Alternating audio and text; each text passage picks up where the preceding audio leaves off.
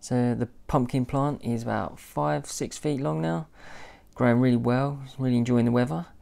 Uh, we've done a lot of vine burying this week. The list of jobs I've had this week, uh, I don't know how I've kept on top of it all really. What with uh, weeding, hoeing, mulching, grass cutting, pruning, feeding, watering.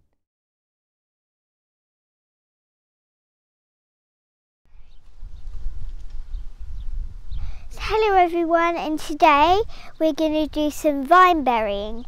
So first we need to get a little bit of mycorrhiza and see here that's where we're going to sprinkle it on.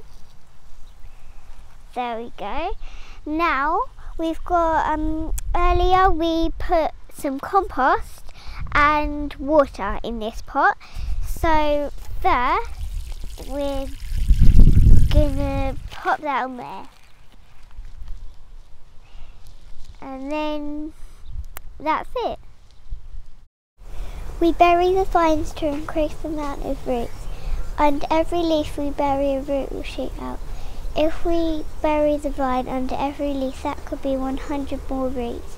The more roots the more water and nutrients the plant will drink which will grow even bigger pumpkin. Well thanks for watching. Um, feel free to comment or subscribe if you like to. Um, it would be good if you follow our follow our progress. Um, so yeah, bye.